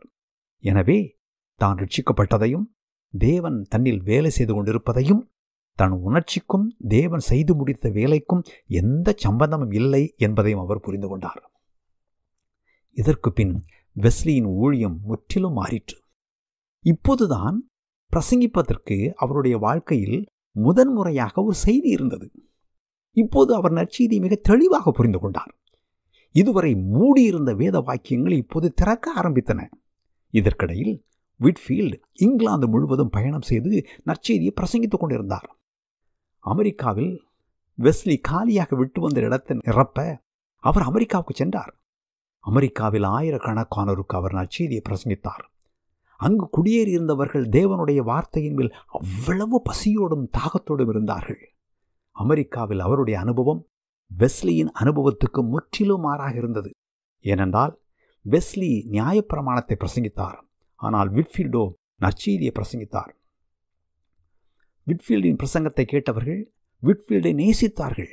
விட்ஃபீல்டும் அவர்களை அவ்வளவாய் நேசித்தார். அதற்கு முன் அந்த மக்கள் வெஸ்லியை நேசிக்கவில்லை. வெஸ்லியும் விட்ஃபீல்டை போல் அவர்களை நேசிக்கவில்லை. அது மட்டுமில்லை விட்ஃபீல்டு அமெரிக்காவுக்கு செல்வதற்கு முன் இங்கிலாந்தில் பிரசங்கித்தார். குறிப்பாக பிரிஸ்டோலில் பிரசங்கித்தார். அங்கு ஆயிரக்கணக்கானோருக்கு பிரசங்கித்தார். இவைகளை பற்றி விட்ஃபீல்டு ஏற்கனவே வெஸ்லிக்கு விவரமாக கடிதம் எழுதியிருந்தார். தேவன் இங்கு வேலை செய்து கொண்டிருக்கிறார் என்னுடைய எந்த ஊழியத்தில் எனக்கு உதவுங்கள் என்னோடு சேர்ந்து கொள்ளுங்கள் என்று அவர் எழுதியிருந்தார். ஜார்ஜ் விட்ஃபீல்ட் எழுதியிருந்த ஒரு சங்கதி வெஸ்லிக்கு ஆரம்பத்தில் மிகவும் அதிர்ச்சியாக இருந்தது. விட்ஃபீல்ட் பிரிஸ்டோலுக்கு வெளியே கிங்ஸ்வுட் என்ற இடத்தில் வாழ்ந்த நிலக்கரி சுரங்க தொழிலாளர்களை பற்றி வெஸ்லிக்கு எழுதியிருந்தார். இந்த மக்கள் சமுதாயத்தில் வாழ்ந்த மற்ற மக்களிடமிருந்து விலகி ஒதுக்குப்புறமாக வாழ்ந்தார்கள். மிகவும் ஏழைகள் நிலக்கரிக்காரர்கள். சாதாரண ஏழைகள் அல்ல ஏழைகளிலும் ஏழைகள். வாழ்க்கையில் எந்த நம்பிக்கையும் இல்லாதவர்கள். அவர்கள் எல்லாரையும் விட்டு விலகி ஒதுங்கி குடிசைகளில் வாழ்ந்தார்கள். வன்முறைக்கு பேர் பெற்றவர்கள் குடிகாரர்கள். மிக கேவலமான வாழ்க்கை வாழ்ந்தார்கள். அவருடைய பிள்ளைகளும் கூட நிலக்கரி சுரங்கங்களில் நீண்ட நேரம் வேலை செய்தார்கள். சுரங்கங்களில் வேலை செய்து கொண்டிருக்கும் போது அநேகர் விபத்துக்குள்ளாகி இறந்தார்கள். இறந்த உடலை கூட சுரங்கத்துக்குள் இருந்து வெளியே கொண்டு வரவில்லை. அதற்கான செலவை விட இன்னொரு ஆளை வேலைக்கு அமர்த்துவது மலிவு. இவ்வளவுதான் அவருடைய மதிப்பு மரியாதை. அவருடைய பிள்ளைகளும் சிறிய சுரங்கத்துக்குள் வேலை செய்தார்கள். அவர்கள் சுரங்கத்துக்குள் செல்ல பயந்தால் சுரங்கத்தின் பணக்கார உரிமையாளர்கள் அவர்களுக்கு ஜின் என்ற மதுவை குடிக்க கொடுத்தார்கள். இந்த மக்களுடைய ஆயுள் மிக குறைவு. பலர் சுரங்கங்களில் நிலக்கரியின் நச்சு கலந்த தூசியை சுவாசித்து இறந்தார்கள். வேறு பலர் அங்கு ஏற்பட்ட விபத்துக்களால் இறந்தார்கள். இன்னும் பலர் குடிபோதையினால் இறந்தார்கள். இன்னும் பலர் அவர்களுக்கிடையில் ஏற்பட்ட வன்முறையில் இறந்தார்கள். இந்த மக்களை பிறர் எந்த அளவுக்கு வெறுத்தார்கள் என்றால் அன்றைய மத குருக்கள் கூட இவர்களை தங்கள் ஆலயத்துக்குள் வர அனுமதிக்கவில்லை. அவர்கள் வந்தால் ஆலயம் தீட்டுப்பட்டு விடும் என்று அவர்கள் நினைத்தார்கள். ஆலயம் நல்ல அழகான கட்டிடம். நிலக்கரி சுரங்க தொழிலாளர்களோ அழுக்கானவர்கள். அவர்கள் மறக்கப்பட வேண்டிய ஒரு சமுதாயம் என்று பிறர் நினைத்தார்கள். ஆனால் ஜார்ஜ் விட்ஃபீல்டு இந்த மக்களை போய் பார்த்தார்.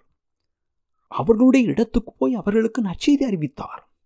ஆயிரக்கணக்கான மக்கள் அவருடைய பிரசங்கத்தை கேட்டார்கள். தேவன் மேலும் தேவனுடைய வார்த்தையின் மேலும் அவர்கள் கொண்டிருந்த தாகத்தையும் பசியையும் இயேசு கிறிஸ்து மட்டுமே தருகிற நம்பிக்கைக்காக ஆவலுடன் காத்திருப்பதையும் அவர் கண்டார். விட்ஃபீல்டு இவை எல்லாவற்றையும் குறித்து வெஸ்லிக்கு எழுதியிருந்தார். வெஸ்லி இதை குறித்து மகிழ்ச்சி அடைந்தார். தேவன் வேலை செய்கிறார் என்பதை வெஸ்லி உணர்ந்தார். ஆனால் ஒரு காரியம் வெஸ்லிக்கு உறுத்துதலாக இருந்தது. விட்ஃபீல்டு ஆலயத்துக்கு உள்ளே பிரசங்கிக்காமல் ஆலயத்துக்கு வெளியே பிரசங்கித்தது அவருக்கு உறுத்துதலாக இருந்தது. அந்த நாட்களில் பிரசங்கிமார்கள் ஆலயத்துக்கு வெளியே பிரசங்கிக்கவில்லை. எனவே விட்ஃபீல்ட் இவ்வாறு வெளியே பிரசங்கிப்பது சரியல்ல என்று மட்டுமல்ல அது அவமரியாதை என்றும் வெஸ்லி நினைத்தார். ஆலயத்துக்கு வெளியே ஒருவன் ரட்சிக்கப்பட முடியுமா? இது சாத்தியமா? என்பதுதான் அன்றைய எண்ணப்போக்கு. வெஸ்லியிடம் பல காரியங்களை பற்றி பாரம்பரியமான பாரபட்சமான கண்ணோட்டமே இருந்தது. ஆனால் தேவன் அங்கு வேலை செய்கிறார் என்பதை அவரால் மறுக்க முடியவில்லை. இதை குறித்து அவர் சிந்தித்தார். ஒரு நாள் அவர் ஆண்டவராய் இயேசுவின் மலைப்பிரசங்கத்தை வாசிக்க நேர்ந்தது. இயேசு வயல்களிலும் கடற்கரையிலும் நின்று பிரசங்கித்தார் என்பதை அவர் வாசித்தார். உடனே பாரம்பரியமான கருத்துக்கள் முட்டாள்தனமானவை என்பதை உணர்ந்தார். அகில உலகமும் தேவனுடைய சபையே என்று அவர் புரிந்து கொண்டார். அனைவரும் நற்செய்தியை கேட்க வேண்டும். ஆக்ஸ்போர்ட் போன்ற பெரிய பல்கலைக்கழகங்களில் உள்ள பிரபுக்களும் கல்வியாளர்களும் மட்டுமல்ல நிலக்கரி சுரங்க தொழிலாளர்களுக்கும் தகரச் சுரங்க தொழிலாளர்களுக்கும் தொழிற்சாலை தொழிலாளர்களுக்கும் புகைபோக்கிய துடைப்பவர்களுக்கும் பிரசங்கிக்கவும் கற்பிக்கவும் தேவன் தன்னை அழைத்திருக்கிறார் என்பதை வெஸ்லி அப்போது அறிந்து கொண்டார். விட்ஃபீல்டு நம்ப முடியாத அளவுக்கு வீரியமாக நற்செய்தி அறிவித்துக் கொண்டிருந்தார். உணர்ச்சியோடு பேசினார். அருமையாக கதை சொன்னார். பத்தாயிரம் பேர் கேட்கக்கூடிய அளவுக்கு குரலை உயர்த்தி பேசினார். வெஸ்லியிடம் இப்படிப்பட்ட திறமைகளோ தாளந்துகளோ இல்லை. அவரிடம் வேறு வகையான வரங்கள் இருந்தன. விட்ஃபீல்டும் வெஸ்லியும் சேர்ந்து ஊழியம் செய்தார்கள். விட்ஃபீல்டு பிரசங்கித்தார். ஆயிரக்கணக்கானவர் ரட்சிக்கப்பட்டார்கள். வெஸ்லி அவர்களுக்கு கற்பித்தார். ரட்சிக்கப்படுவது வேறு அதன்பின் வளர்ச்சி என்பது வேறு என்பதை வெஸ்லி பார்த்தார். எனவே ரட்சிக்கப்பட்டவரின் வாழ்க்கை அவர்கள் கேட்ட நற்செய்திக்கு முரணாக இருப்பதை வெஸ்லி பார்த்தார். அவர்கள் வாழ்க்கையில் மாற வேண்டிய மாற்ற வேண்டிய காரியங்கள் நிறைய இருப்பதை அவர் உணர்ந்தார். இதை வெஸ்லி தெளிவாக பார்த்தார். இந்த புதிய விசுவாசிகள் கிறிஸ்துவில் வளர்வதற்கு வெஸ்லி பேருதவி செய்தார். எடுத்துக்காட்டாக கிங்ஸ்வுட்டில் விட்ஃபீல்டின் பிரசங்கத்தை கேட்ட சுரங்க தொழிலாளர்கள் நிறைய பேர் ரட்சிக்கப்பட்டார்கள். அதன்பின் வெஸ்லி தான் அவர்களை வளர்த்தார். அங்கு சிறு சமுதாயங்கள் என்றழைக்கப்படும் சிறு குழுக்களை ஆரம்பித்தார். பிற்காலத்தில் இவர்கள் பிறரை வழிநடத்துவார்கள் என்று சிலரை இனங்கண்டு அவர்களுக்கு கற்பித்தார். அவர்கள் முதிர்ச்சி அடைந்த தலைவர்களானார்கள். இவர்கள் சிறு குழுக்களை வழிநடத்தினார்கள். அந்த குழுக்களில் இருந்தவர்கள் தங்கள் வாழ்க்கையை இந்த தலைவர்களின் வழிகாட்டுதலின்படி வாழத் தொடங்கினார்கள். ஜின் என்ற குடியை நிறுத்துவதற்கு வெஸ்லி உதவினார். ஜின்னுக்கு பதிலாக தேநீர் குடிக்க கற்றுக் கொடுத்தார். அவர்களுக்கு ஜெபிக்க கற்றுக் கொடுத்தார். அவர்கள் படிப்பறிவு இல்லாதவர்கள். வேதாகமத்தை வாசிக்க கற்றுக் கொடுக்க விரும்பினார். எனவே வாசிக்க தெரிந்த சிலரை கண்டுபிடித்து அவர்களுக்கு வேதாகமத்தை வாசிக்க கற்றுக் கொடுத்தார். இவர்கள் வேதாகமத்தை பிறருக்கு வாசித்துச் சொன்னார்கள். அவருடைய இருதயங்களில் விதைக்கப்பட்ட விதைகள் நல்ல நிலத்தில் விதைக்கப்பட்ட விதையைப் போல் ஆழமாக வேரூன்றி நல்ல பலன் கொடுக்க வேண்டும் என்று வெஸ்லி பிரயாசப்பட்டார். சிறு வயதிலிருந்து தன் தாயிடம் கற்றுக்கொண்ட ஒழுங்கு அவருக்கு மிகவும் உதவியாக இருந்தது. அதே ஒழுங்கை அவர் பிறருக்கு கற்றுக் கொடுத்தார். மக்கள் ஒன்றாக சேர்ந்து வாழ்வதற்கும் ஓர் அமைப்பாக மாறுவதற்கும் அவர் கற்றுக்கொண்ட ஒழுங்கு உதவியது. இதனால் தான் மெத்தடிஸ் என்ற பெயர் வந்தது. இந்த சிறிய ஆலயங்கள் சிறிய அறைகள் சிறிய சமூகங்கள் ஆகியவைகளை மக்கள் தங்கள் இடங்களிலும் ஏற்படுத்தினார்கள். எல்லாம் ஒழுங்காயிற்று. வெஸ்லி தாமே இந்த வார்த்தையை ஒருபோதும் பயன்படுத்தவில்லை. ஆனால் மற்றவர்கள் கிண்டல் செய்யும் விதமாக இந்த வார்த்தையை பயன்படுத்தினார்கள். அவர்கள் அவரை பார்த்து நகைத்து இவருடைய முறைகளை பாருங்கள். விசித்திரமான முறைகள். இவரிடம் உள்ள முறைகள் விசித்திரமாக உள்ளன. எல்லாவற்றையும் ஒழுங்காக செய்கிறார். எல்லாவற்றையும் அமைப்பாக்கி விட்டார் என்று சொன்னார்கள். எனவே பிறர் அவரை ஒரு மெத்தடிஸ்ட் அழைத்தார்கள். ஆனால் வெஸ்லி அந்த நேரத்தில் இங்கிலாந்து சர்ச்சுக்கு எதிராக எதையும் செய்ய விரும்பவில்லை. அவர் ஒரு புதிய ஸ்தாபனத்தை உருவாக்க விரும்பவில்லை.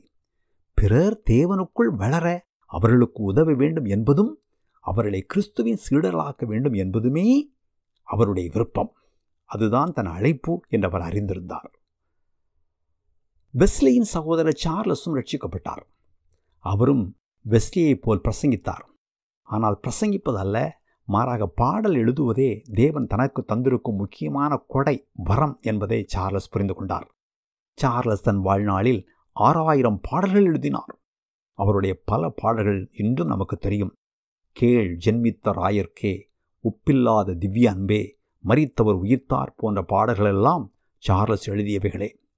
உண்மையில் சார்லஸ் இந்த பாடல்களை எழுதியிருந்தாலும் அவருடைய எல்லா பாடல்களையும் ஜான் வெஸ்லி திருத்தி மெருகூட்டினார். பாடல் வரிகளை குறித்து ஜான் மிகவும் கவனமாக இருந்தார். எடுத்துக்காட்டாக சார்லஸ் பாவமற்றவர் என்று எழுதிய போதெல்லாம் அதை களங்கமற்றவர் என்று அவர் திருத்தினார். அவரோடு என்பதை அவரில் என்று மாற்றினார். இவ்வாறு அவர் பாடலின் கருத்துக்கும் வார்த்தைகளுக்கும் மிகவும் முக்கியத்துவம் கொடுத்தார். ஏழை மக்களுக்கு கற்பிப்பதற்காக அவர்கள் இந்த பாடல்களை எழுதினார்கள்.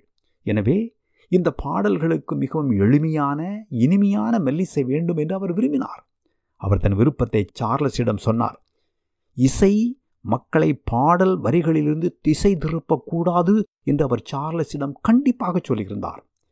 ஏழை மக்களுக்கு எழுத படிக்க தெரியாது அவர்களிடம் வேதாகமம் இல்லை. எனவே பாடல்களின் மூலமாக வேதாகமத்தின் முக்கியமான சத்தியங்களை அவர்களுக்கு போதிக்க விரும்பினார்கள். நிலக்கரி சுரங்கங்களுக்கு செல்லும்போது இரவில் சாலைகளில் நடக்கும்போது தொழிற்சாலைகளில் வேலை செய்யும்போது இந்த ஏழை மக்கள் இந்த பாடல்களை அவருடன் கொண்டு செல்ல வேண்டும் என்று அவர் விரும்பினார். இந்த மக்கள் இந்த பாடல்களை தங்களுடன் வைத்திருக்க வேண்டும் என்று விரும்பினார். அவர்களுடைய இந்த பாடல்களை உண்மையில் இங்கிலாந்தில் முதல் முதலாக இந்த நிலக்கரி சுரங்க பணியாளர்கள் தான் பாடினார்கள். இவைகள் முதலாவது ஆலயத்துக்குள் கட்டிடத்துக்குள் பாடப்படவில்லை. அவை பெரும்பாலும் வயல்களில் தொழிற்சாலைகளில் நிலக்கரி சுரங்கங்களில் பாடப்பட்டன. அவருடைய அம்மா சூசன்னா வெஸ்லி தன் மகன்கள் இருவருடைய ரட்சிப்பை பற்றி கேள்விப்பட்டார்.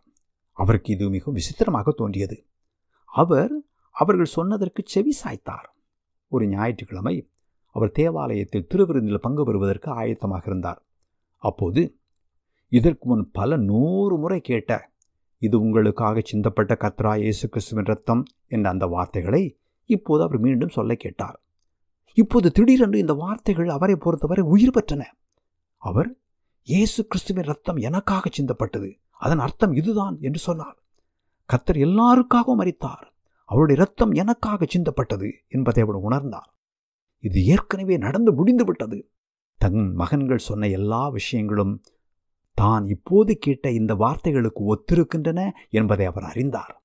பின்னர் அவர் தன் மகன்களுக்கு நான் அந்த வார்த்தைகளை கேட்ட அந்த நேரத்தில் கிறிஸ்து என் பாவங்களை மன்னித்து விட்டார் என்று எனக்கு தெரியும் என்று கடிதம் எழுதினார். இவ்வாறு சூசனா வெஸ்லியும் அவருடைய பிற்காலத்தில் தேவனுக்கு ஊழியம் செய்தார். வெஸ்லி இங்கிலாந்தின் குறுக்கும் நடுக்கும் குதிரையிலேயே பயணம் செய்தார். சில நேரங்களில் அவர் நடந்தும் சென்றார். தான் செய்ய வேண்டிய வேலை நிறைய இருக்கிறது என்று அவர் புரிந்து கொண்டார். தேவன் தனக்கு தந்த பொறுப்பை நிறைவேற்றுவதற்காக அவர் கடுமையாக உழைத்தார். அதை செய்வதற்கான ஆற்றலை தேவன் தனக்கு தந்திருக்கிறார் என்றும் அவர் உணர்ந்தார். அதற்காக அவர் மிக கண்டிப்பான அட்டவணையை பின்பற்றினார். தினமும் அதிகாலை நான்கு மணிக்கு எழுந்திருப்பார். ஏனென்றால் பெரும்பாலும் அதிகாலை ஐந்து மணிக்கு அவர் பிரசங்கிக்க வேண்டியிருந்தது. தொழிலாளர்கள் வேலைக்கு செல்வதற்கு முன் அவர் அவர்களுக்கு பிரசங்கித்தார். அவர் தன் வாழ்நாள் முழுவதும் இந்த மிக கண்டிப்பான அட்டவணையை பின்பற்றினார். ஆனால் அவர் போன எல்லா இடத்திலும் மக்கள் அவரை வரவேற்றார்கள் என்று சொல்ல முடியாது. ஒரு நாள் மாலை அவர் ஒரு கூட்டம் மக்களுக்கு பிரசங்கித்துக் கொண்டிருந்தார். அவர்கள் ஒரு வீட்டின் அறையில் கூடியிருந்தார்கள். நிற்கவும் இடமில்லாத அளவுக்கு மக்கள் நெருக்கிக் கொண்டு நின்றார்கள். ஏராளமான மக்கள் கூடியதால் பாரம் தாங்காமல் தரையில் தொய்வு ஏற்பட்டது. கூடியிருந்த மக்கள் கதவு சட்டங்களையும் வேறு பலவற்றையும் பிடித்துக்கொண்டு தொங்கிக் கொண்டிருந்தார்கள். முழு தளமும் கீழே இறங்க ஆரம்பித்தது.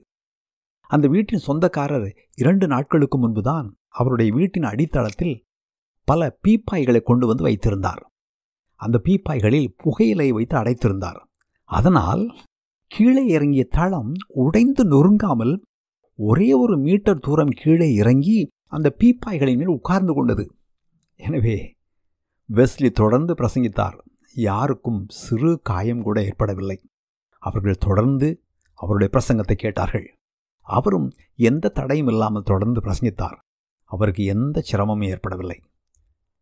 ஆயினும் அவருடைய கூட்டங்களில் பலர் பல வேளைகளில் குழப்பத்தை ஏற்படுத்த முயன்றார்கள்.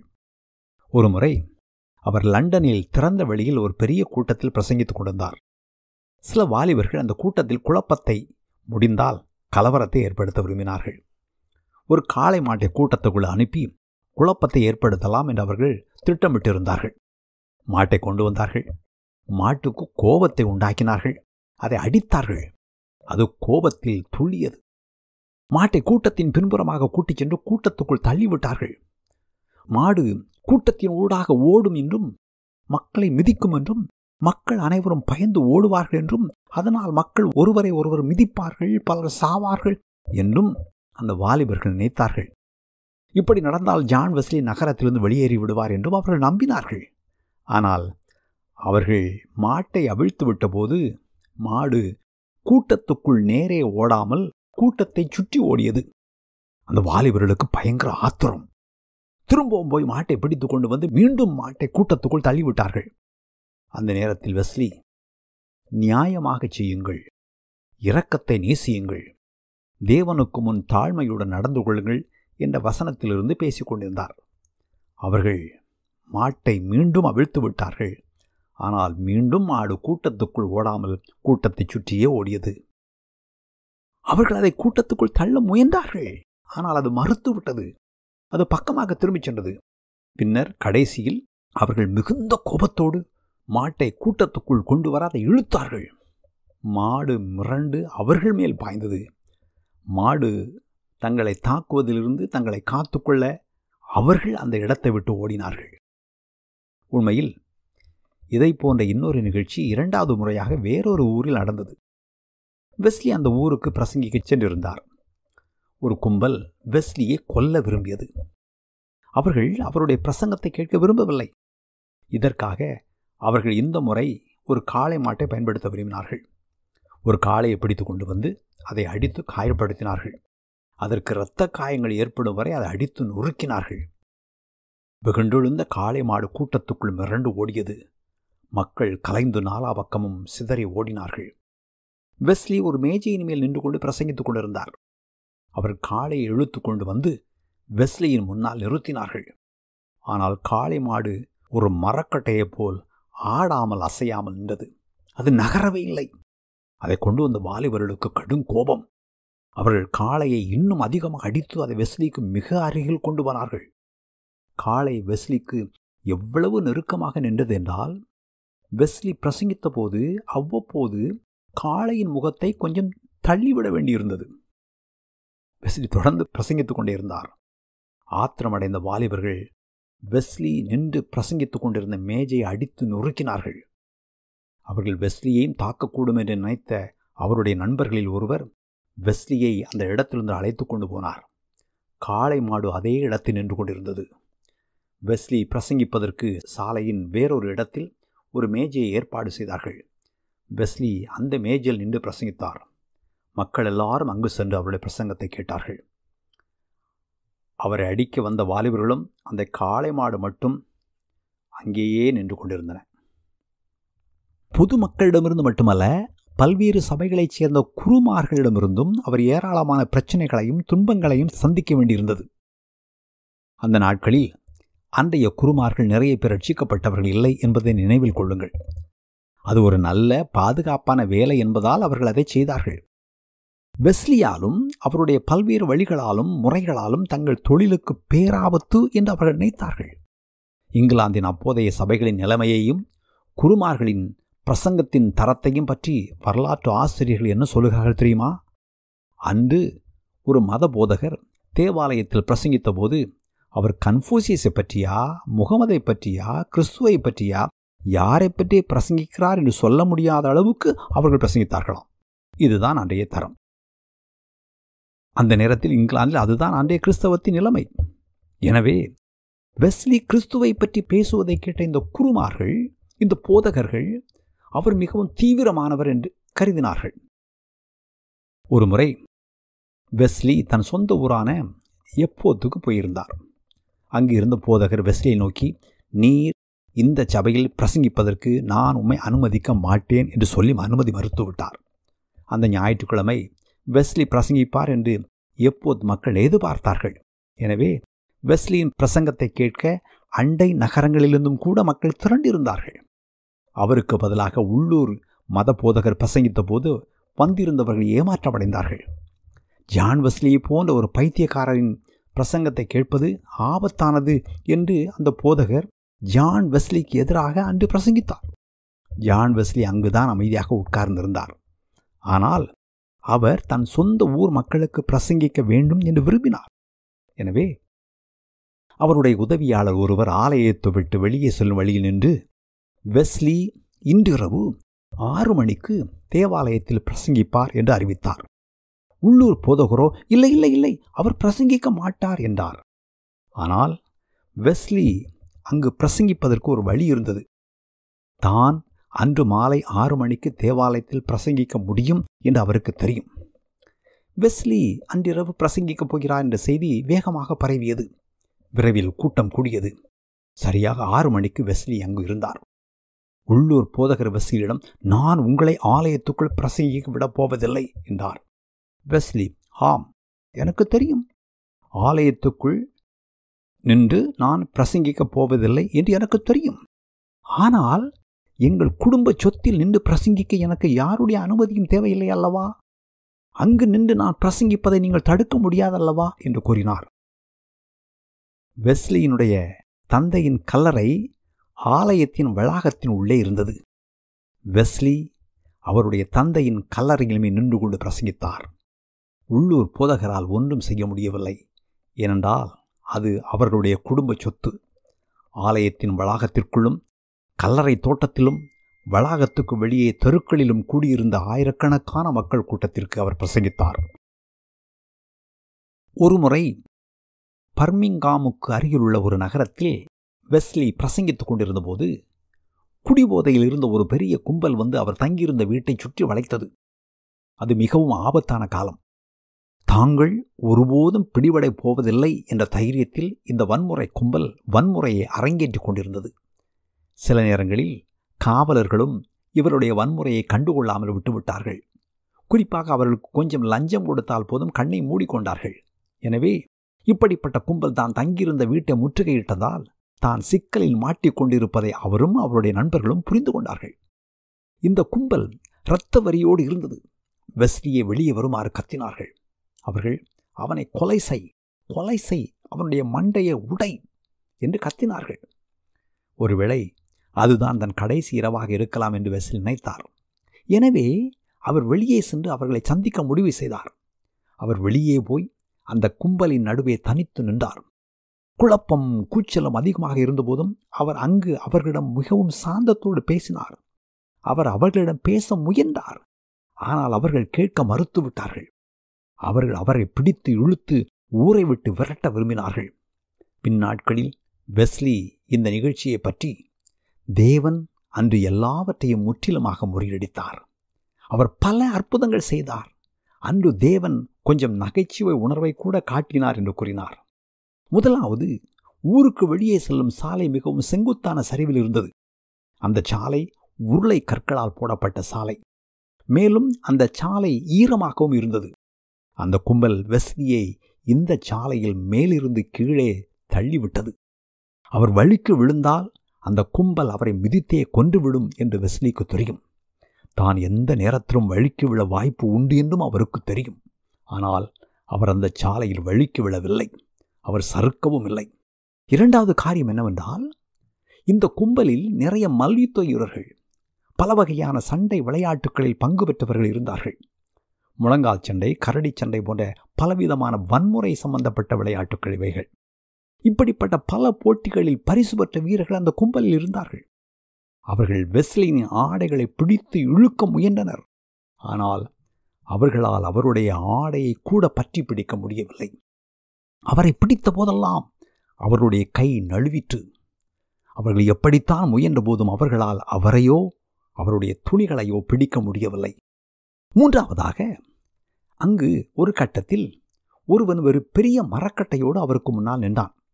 அவன் வெஸ்லியின் தலைக்கு குறிவைத்து அவரை அடிக்க தடிய ஓங்கினான். அந்த நேரத்தில் வெஸ்லி தன் உயிரை தேவனுக்கு அர்ப்பணித்தார். ஆனால் அந்த மனிதனால் வெஸ்லியை அடிக்க முடியவில்லை. அவன் அடிக்க முயன்ற போதெல்லாம் தடி அவருக்கு வலதுபுறமோ அல்லது இடதுபுறமோ சென்றது.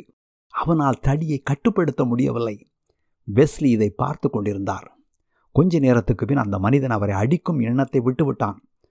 அதற்கு பின் இன்னொரு மனிதன் வந்து அவரை பிடித்து அவரை ஓங்கி குத்துவதற்கு தன் முஷ்டியை உயர்த்தினான். ஓங்கியவன் முஷ்டி அந்தரத்தில் அப்படியே நின்றது. அவன் என் தலையை வருடி கொண்டு என்னே மென்மையான முடி என்று சொன்னான். அவன் தான் எதற்காக வந்தேன் என்பதை மறந்துவிட்டான் போல் இருந்தது என்று பிற்காலத்தில் வெஸ்லி இந்த சம்பவத்தை பற்றி குறிப்பிட்டார். இதற்கிடையில் வெஸ்லி நகரத்திலிருந்து வெளியேற்றப்பட்டார். கும்பல் கலைந்தது.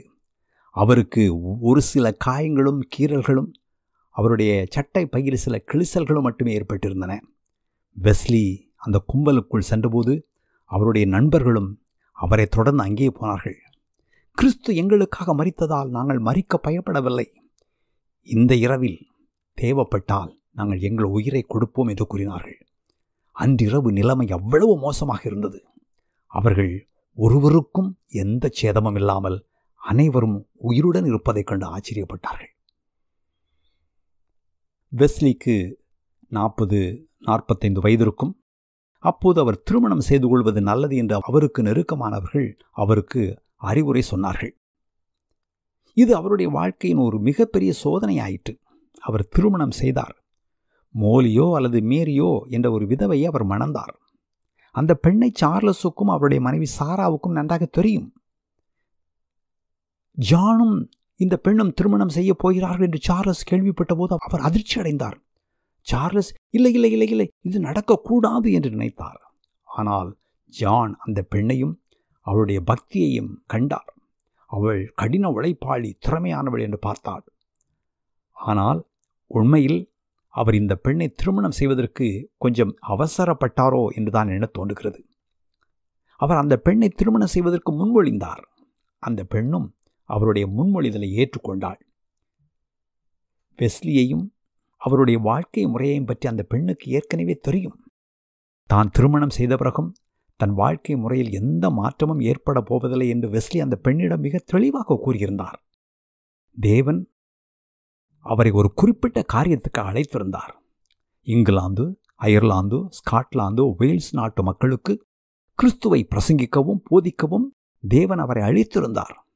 அந்த அழைப்பை அவர் நிறைவேற்ற வேண்டியிருந்தது. அதுவே அவருடைய தெளிவான தரிசனம். ஆனால் திருமணமான சில வாரங்களுக்குள் நிலைமை மாற ஆரம்பித்து விட்டது. மோலி மிகவும் முரட்டுத்தனமான குணமும் பொறாமையும் கொண்டவள் என்று ஒரு சில வாரங்களிலே தெரிய ஆரம்பித்தது. பிரசங்கிப்பதற்காக அவர் எல்லா நேரமும் வெளியே போவதை அவள் வெறுத்தாள். அவர் எப்போது மக்களுக்கு கடிதங்கள் எழுதுவதையும் பிரசங்கங்களை ஆயத்தம் பண்ணுவதையும் அவள் வெறுத்தாள். அதைக் கண்டு அவள் மிகவும் பொறாமைப்பட்டாள். சில நேரங்களில் அவர் மேலிருந்து தன் கோபத்தை காட்டும் வகையில் அவருடைய கடிதங்களையும் பிரசங்க குறிப்புகளையும் அவருக்கு தெரியாமலே திருடி எரித்து விட்டாள். அவர் ஏழை மக்கள் மேல் கொண்டிருந்த அவருடைய தாராள மனப்பான்மையும் அவள் வெறுத்தாள். சீக்கிரத்தில் அது மிக தெளிவாக தெரிந்தது. அவளுடைய இருதயம் தன்னோடு ஒன்றாக இல்லை மாறாக தனக்கு எதிராக இருக்கிறது என்று ஜான் வெஸ்லிக்கு தெரியும். வெஸ்லி கர்த்தருக்கு சேவை செய்வதையும் பிரசங்கிப்பதையும் அவருடைய அழைப்பை நிறைவேற்றுவதையும் தடுக்க அவள் தன்னால் முடிந்த அனைத்தையும் செய்தாள். ஆனால் குறிப்பிட்ட இந்த சோதனையால் தேவன் வெஸ்லியை புடமிட்டு உருவாக்கினார் என்று சொல்லலாம். அவருடைய திருமணம் அவரை உடைத்து உருவாக்கியது என்று சொல்லலாம். இதனால் அவர் மிகவும் மென்மையான மனிதராக மாறினார். இதன் விளைவாக அவர் மிகவும் சாந்த குணமுள்ளவராகவும் மிருதுவானவராகவும் மாறிவிட்டார். அவர் மிகவும் பலவீனமாகிவிட்டார். அவர் இன்னும் கொஞ்சம் பலமாகவும் தைரியமாகவும் நடந்திருக்க வேண்டும் என்று சொல்லக்கூடிய அளவுக்கு அவர் சாந்தமானார் என்று கூட சொன்னார்கள். மோலி தன் கணவரை பற்றி அவதூறான கடிதங்களை எழுதினாள். அந்த கடிதங்களை அவரை வெறுக்கும் நபர்களுக்கு அனுப்பி அவர்களின் வெறுப்பை அவள் வளர்த்தாள்.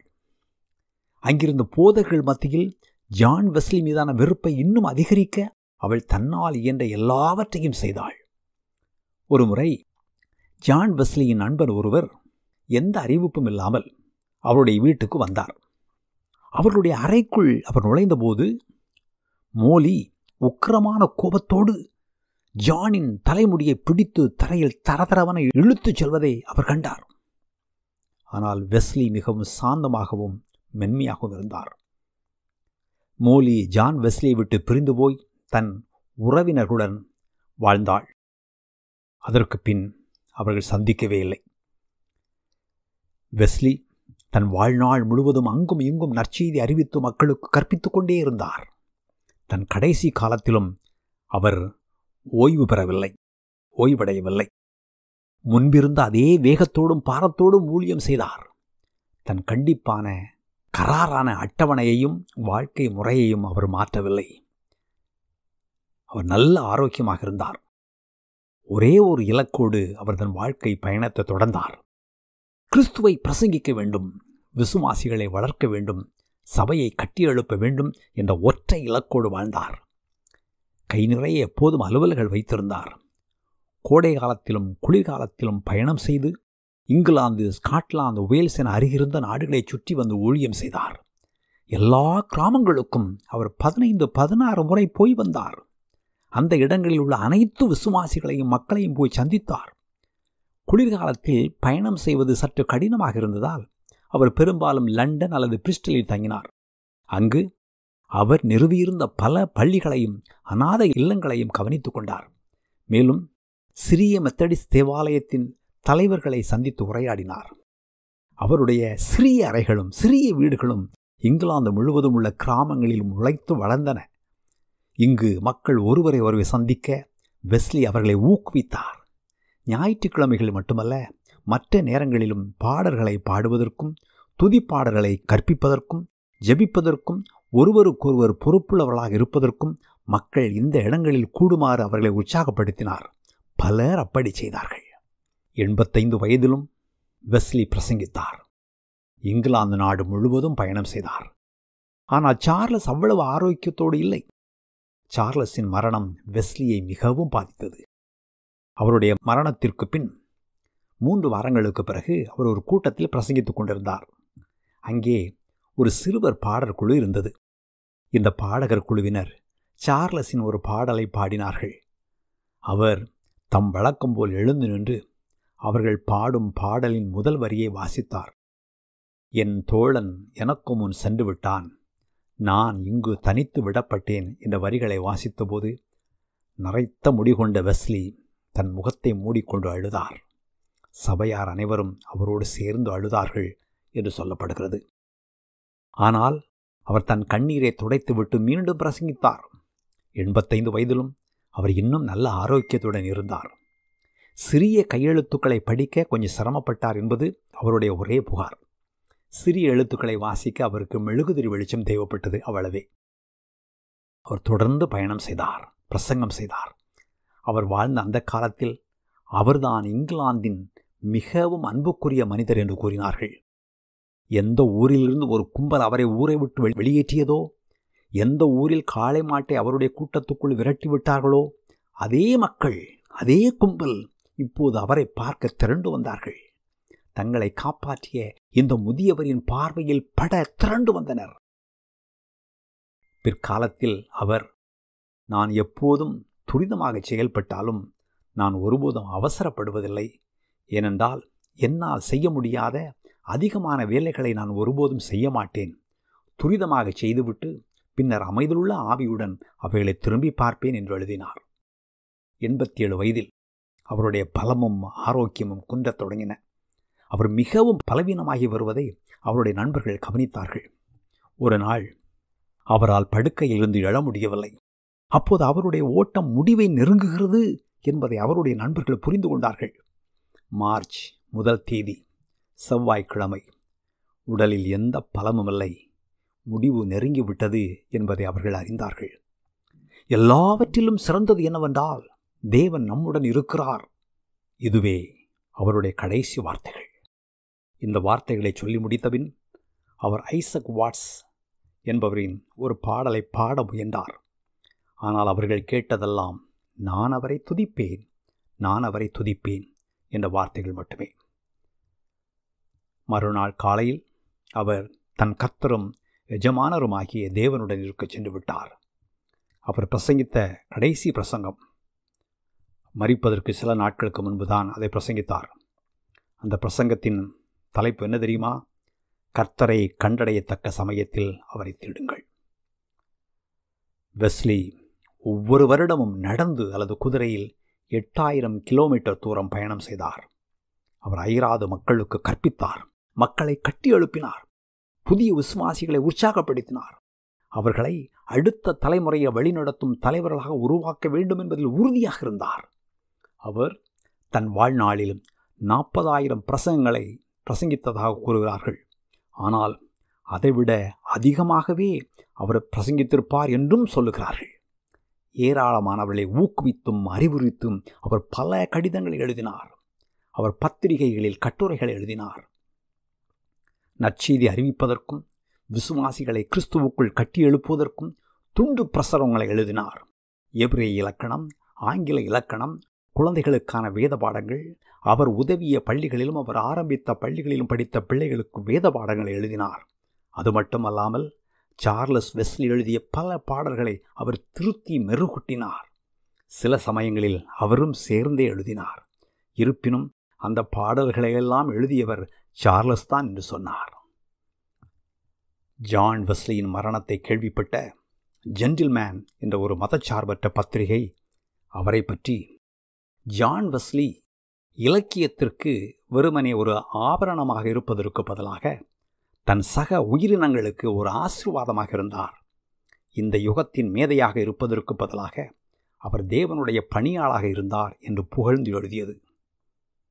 வெஸ்லி எழுதிய கடைசி வார்த்தைகளில் நாமும் கொஞ்சம் பகிர்ந்து கொள்ளலாம்.